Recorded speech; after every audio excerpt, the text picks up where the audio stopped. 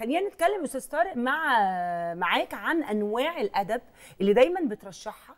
لسنه أولى قراءة. يعني زي ما بنقول كده بال- بالبلدي يعني. أنا لسه سنة أولى قراءة خالص وبتحاول تشجعني إن أنا أقرأ. بتحاول تحببني إن أنا أقرأ. هترشح لي إيه؟ هتقول لي إيه؟ والله هو ده هيتوقف على الفئة العمرية بتاعه القارئ نفسه يعني اللي هو لو سنه صغير أو من اليافعين يعني. على حسب الفئة العمرية بقى تبتدي بي- توجه هنبدأ نحدد بقى هو وهو بيحب إيه من الأفلام. ده ده برضو مدخل كويس قوي. آه. يعني هو لو بيحب أفلام الأكشن هيبقى مناسب إن إحنا نديله حاجة تليق على ذوقه أيوه ما ينفعش أديله حاجة تبقى صعبة عليه أو أعلى من إمكانياته في التوقيت وده دلوقتي تقفله من من القصة إحنا عايزين نجذبه عايزين نحببه في الموضوع آه، من فلو. بيحب البوليسي هيبقى بيحب مثلا آه. ال- ال- الحاجات اللي فيها suspense والروايات البوليسية آه. والحاجات اللي زي كده.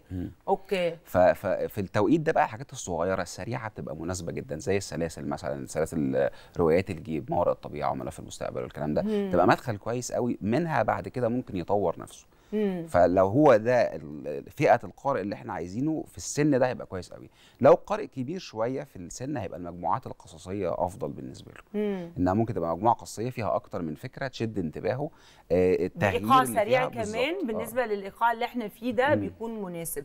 آه لو ست بقى طب إحنا قلنا قارئ طب انت دلوقتي لو في بنت أو ست لسه بتحاول إن هي تستثمر وقتها بترشح إيه للسيدات بترشح إيه للبنات هو- إن هم يقروا أو أنت من وجهة نظرك شايف البنات بيحبوا يقروا في إيه أكتر؟ هو الستات عموما بتميل للأدب الرومانسي أكتر يعني الرومانسي. تصور إن. أنا في حلقة من الحلقات اكتشفت إن هم بيحبوا أدب الرعب.